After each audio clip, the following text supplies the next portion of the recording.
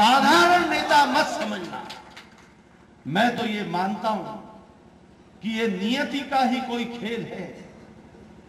ईश्वर की रचना में ये सब घटित हो रहा है। एक साधारण मनुष्य ये कर नहीं सकता।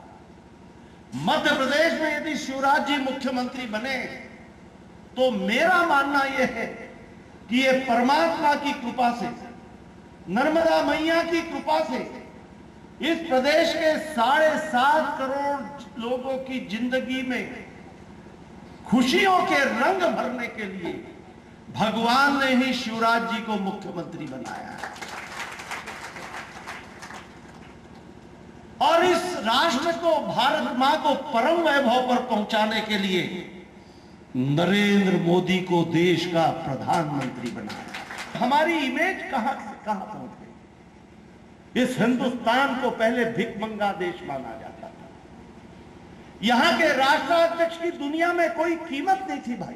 मैंने अपने भारतीय जनता पार्टी के खुरई के प्रशिक्षण वर्ग में ये कहा था कि एक जमाना था जब भारत देश के प्रधानमंत्री दुनिया में कर्ज मांगने के लिए घूमते थे, अनाज मांगने के लिए घूमते थे।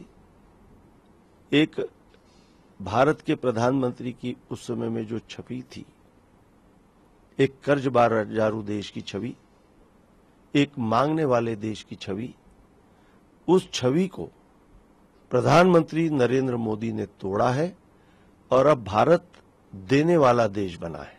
अब हमारे देश का गौरव और सम्मान दुनिया में बढ़ा है। मैंने यही बात कहा कि मोदी जी ने एक भारत के प्रधानमंत्री के रूप में दुनिया में भारत की सच्ची और सही छवि बनाई है। तो ये तो मोदी का जादू है। इसमें कौन सी बुरी बात कही? लेकिन अब कुछ चैनल हैं जिनको सही बात भी सही नहीं दिखती। मैं क्या कर सकता हूँ?